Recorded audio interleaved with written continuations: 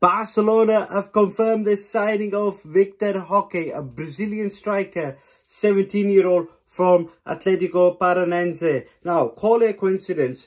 In 1993, Barcelona signed Romario. In 2003, Ronaldinho. 2013, Neymar. And now, Vitor Roque in 2023.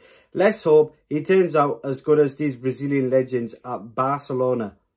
Vitor Roque is highly rated in Brazil. Brazilian Ronaldo said he is going to fly so high. Vitor Roque is already showing signs of taking flight.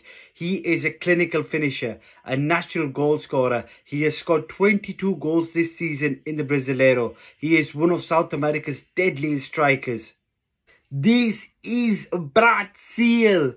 They keep producing some wonderful gems in South America. Vitor Roque is one of them. Now, there's more to come from me, Calcio Central. Stay tuned.